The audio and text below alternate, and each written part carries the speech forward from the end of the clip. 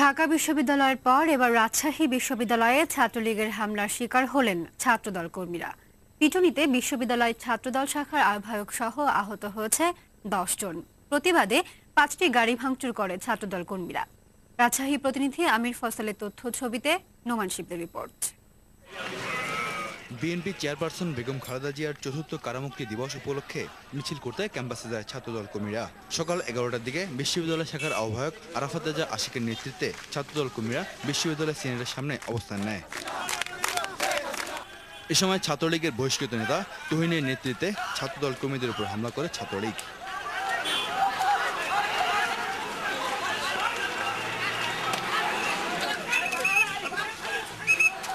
এক পর্যায়ে ছাত্রদল নেতা আশিককে ছুরিকাঘাত করা হয়।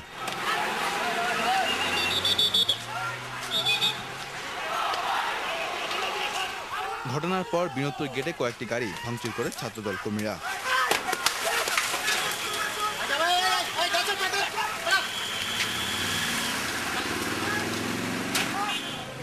এদিকে ছাত্রদলের অভিযোগ, পুলিশের সামনে হামলা চালানো হয়, কিন্তু তা অস্বীকার করেন পুলিশ কর্মকর্তা। আমাদের ডেভেলপমেন্ট ছিল থাকাতে কোনো এরকম অপ্রত্যাশিত কিছু ঘটেনি। মারা আসলে হচ্ছে কি, সেখানে আমি নিজেই ছিলাম এবং এরকম কোনো ঘটনা ঘটেনি, কারণ আমি সরাই দিছি তাদেরকে। বিশ্ববিদ্যালয় ক্যাম্পাসের এই ঘটনাকে বর্বর রক্ষা দিয়ে দায়ীদের দৃষ্টান্তমূলক শাস্তির দাবি জানান ছাত্রদল নেতারা।